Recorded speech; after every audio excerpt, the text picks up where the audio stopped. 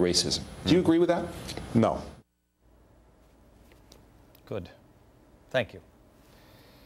You know, I love my country and you love your country. I don't care if you agree with me or disagree. I don't care if you're Republican, Democrat, or Independent or something else. I don't know what else is left. But you love your country. You know that our country has some flaws. You knew it when President Bush was president. I don't care what party you were in. But you didn't want the whole system changed, did you? We are five days away from fundamentally transforming the United States of America. You know, I'm haunted by that, uh, that quote from President Obama that we played just a few minutes ago where he, he talked about, you know, we, we, we, we don't pay attention to the community groups and the community uh, uh, organizing groups that can cobble together the coalition that will bring us the redistribution of wealth. I think we are looking at that now. Look what's happened in the last seven months. The U.S. government has taken over and is running giant corporations. We're a trillion dollars deeper into debt, a $100 billion every single, what is it, five weeks? We're talking about transforming the best healthcare system in the world now. It's flawed, yes, but it's still the best. You, you know that can't be done with a deficit neutral basis. What, what are we kidding ourselves for? Conservative estimates put the cost in the trillions. They're even talking about jamming cap and trade down our throats and sending our energy bills skyrocketing, in his own words.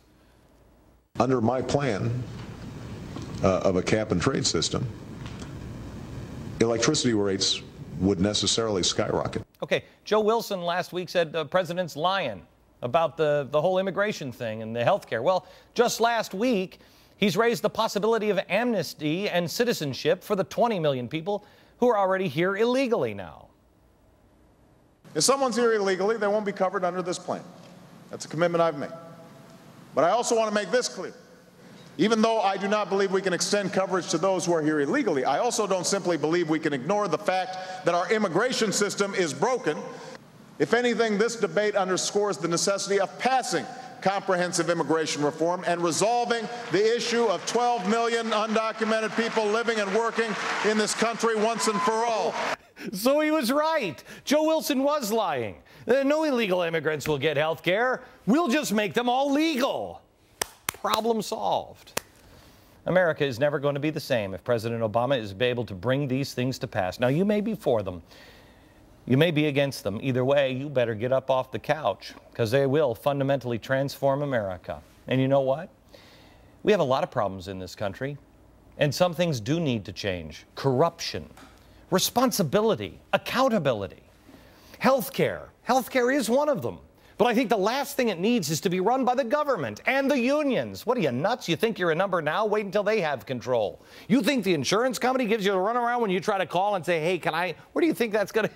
When the insurance company is the government, how do you think that phone call is going to work out for you? I don't think anybody believes the president when he tells them, oh, we've got problems. Do doctors are removing tonsils and, and, and, and they don't have to do that. They're cutting off the feet of diabetes patients. If this were a movie, you'd never believe that.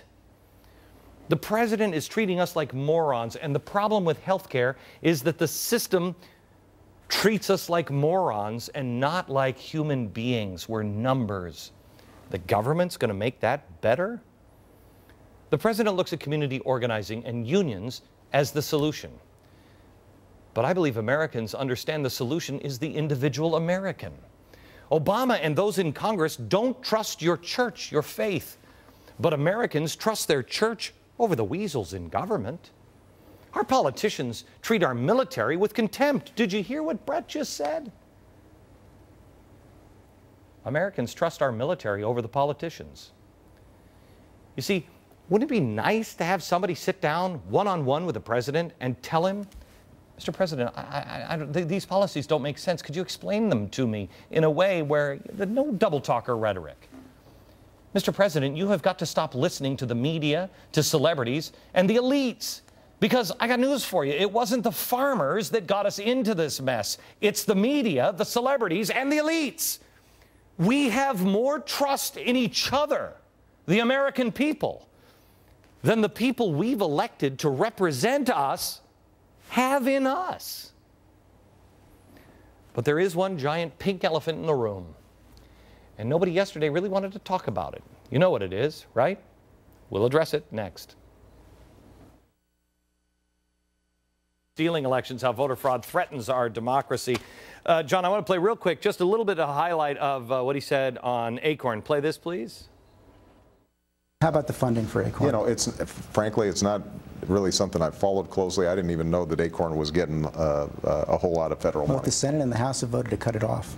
You know, what I know is, is that what I saw on that video was certainly inappropriate and deserves to So be So you're not committing to, to cut off the federal funding? George, this is not the biggest issue facing the country. It's not something I'm paying a lot of attention to. Where do we even start with that one, John? He didn't know? He didn't know they were getting money? Well, it's curious because Acorn has gotten federal funding throughout its existence, and Barack Obama has a long history of working with Acorn. Uh, he was a trainer for them in their Chicago seminars. He was their lawyer. Uh, I suspect at some point Acorn paid him. Um, I suspect some of that was probably federal funds. Okay, what about the 800, what was it, 827,000 or $807,000 during the election? Do you remember that? Barack Obama's campaign spent over $800,000 with an Acorn affiliate to get out the vote, you know, reg- voter registration. We all know about Acorn and voter registration. And the money was categorized and reported to the Federal Election Commission as being for staging and lighting, as if they were, you know, key grips or something. Is And- Acorn do that? I- well, no, no. Then they corrected themselves when they got caught by a Pittsburgh paper. So the Obama administr- the Obama campaign, I think, was not particularly eager to have people know that they were hiring an Acorn affiliate for voter registration. So why do you think that the president was then playing dumb here and saying, I didn't even, I'm not even following this and I, I don't even know? it's strange because throughout his career, he's been proud of Acorn. Mm-hmm. Uh, he has talked about how much he learned as a community organizer from groups like Acorn. Yeah. He has addressed Acorn. He said he was pr- proudly fighting with them. Yeah, let me, let me give the, let me give the quote. I've been fighting alongside Acorn on issues you care about my entire career. Even before I was an elected official when I ran Project Voter Registration Drive in Illinois, Acorn was smack dab in the middle of it, and we appreciate your work. He knows who they are. And he addressed them as recently as 2007, that quote. Uh, during the campaign, when Acorn got into the scandal, he said, Well, you know, I know Acorn's in some trouble, but we're handling our own voter registration. He knew all about Acorn. Now he knows nothing about Acorn. Makes me think there might be something else there. There's the president, um, really, maybe something else there. All I know is he is f- retreating from Acorn faster than a speeding bullet. Well, who wouldn't? I mean, really, who wouldn't? Except, you know, it's interesting. The tapes that he referred, he just referred to the conduct as inappropriate. I think almost anyone would have used a stronger word. Yeah, I, I, I mean, he didn't, he didn't express outrage when they, when they, um, uh, when Acorn says they fired everybody there in those tapes. Is that true? Have they fired the people in New York? Have they Uh, fired? suspended some of them, fired others. Who was suspended? You know which which tapes they were that were suspended? I mean, what, what do you learn your lesson after? I mean, do you have to have like what kind of seminar do you go to when you're like, no, In no, San Diego- immigrants should not be 13 year olds. In San Diego, they held a news conference defending the employee who was going to bring the kids across from Tijuana. They had a news conference defending him, and then they fired him three hours later. I guess the heat got too much for them. Unbelievable. Unbelievable. Okay, John, thank you very much. John Fund from the uh, Wall Street Journal. Back in just a second.